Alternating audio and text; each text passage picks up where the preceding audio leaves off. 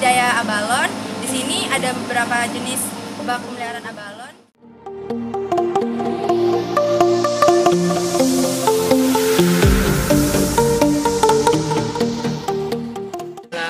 Eh, abalon ya salah satu produk perikanan yang sangat potensial.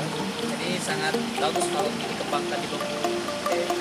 Nilai jualnya sangat sangat bagus. Suka ikannya? Belum pernah coba. nggak tahu Halo guys, sekarang kita ada di Indukan Prapusuno.